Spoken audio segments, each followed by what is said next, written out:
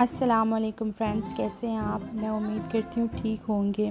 Friends, आज मैं आपके साथ दाल गोश्त की रेसिपी शेयर कर रही हूँ। इसको आप बीफ में भी बना सकते हैं, मटन में भी बना सकते हैं और चिकन में भी बना सकते हैं। ये ढाबा स्टाइल है, बहुत मज़े की बनती है। ऑयल मैंने गर्म कर लिया है। इसमें मैंने ग्रीन ग्रीन कार्डमन, क्लोव्स और बे लीफ डाल दिए चार क्लोव तीन ग्रीन कार्डमन और तीन से चार पत्ते बे लीफ के हैं। इसको मैं ऑयल में हल्का सा फ्राई करूँगी देन मैं इसमें गोश्त को डाल दूँगी। गोश्त मेरा वन एंड हाफ़ के जी है। अब मैं गोश्त को अच्छे से ऑयल में भूनूँगी ताकि इसका कलर चेंज हो जाए और इसका जो पानी इसने, गोश्त ने जो रिलीज़ करना है, वो भी ड्राई हो जाए। फ्रेंड्स ये रेसिपी ज़रूर ट्राई कीजिएगा। होपफुली आपको बहुत पसंद आएगी। गोश्त हमारा बुन गया है, पानी इसका सारा ड्राई हो गया, आप देख सकते हैं गोश्त का कलर भी चेंज हो गया है।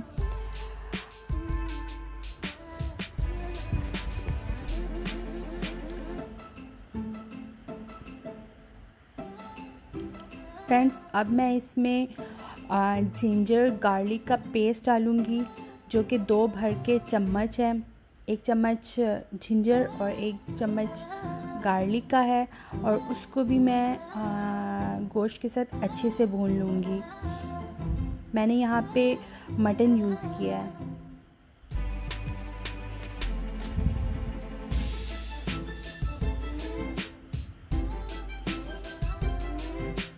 जिंजर गार्लिक की जो रॉ स्मेल होती है वो ख़त्म हो गई है फ्रेंड्स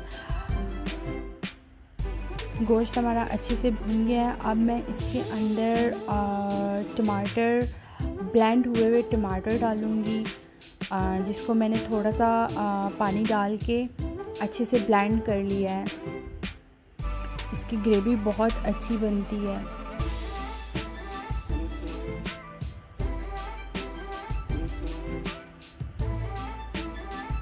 हमें गोश्त को और और भूनूँगी ताकि इसका पानी ड्राई हो जाए। साथ ही मैं इसमें रेड चिली एक चम्मच भर के डाल रही हूँ। हाफ़ चम्मच मैं इसमें टर्मेरिक डाल रही हूँ और एक टीस्पून भर के मैं इसमें कोरिएंडर पाउडर डाल रही हूँ और एक टीस्पून मैं इसमें सॉल्ट डाल रही हूँ। अब मैं टमाटर का पानी ड्राई होने तक इसको अच्छे से भूनूँगी।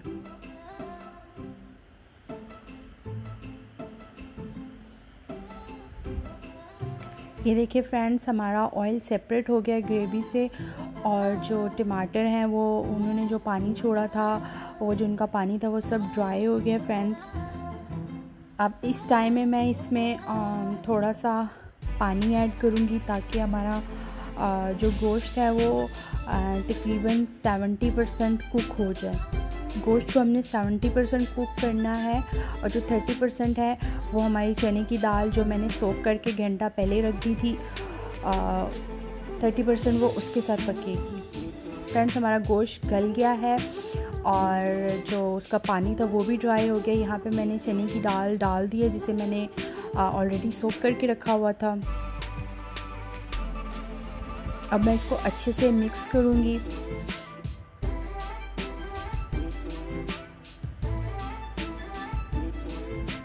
अब इसमें मैंने थोड़ा सा पानी डाल दिया है ताकि हमारी दाल गल जाए और जो हमारा रिमेनिंग गोश्त गलना था वो भी गल जाए।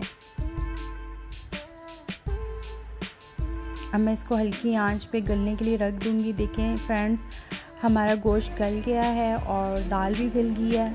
मैं ग्रीन कोरिएंडर डालूँगी होममेड गरम मसाला डालूँगी होममेड गरम मसाला friends black pepper cumin pepper cumin powder cumins और कोरिएंडर का इन तीनों चीज़ों का पाउडर बना के मैंने डाला है। इसका टेस्ट बहुत अच्छा आता है। अब मैं सर्व करूँगी।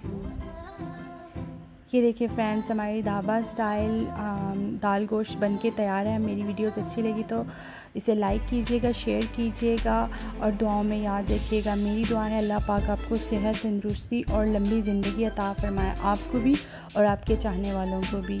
ख्याल रखिएगा, अल्लाह हाफिज़।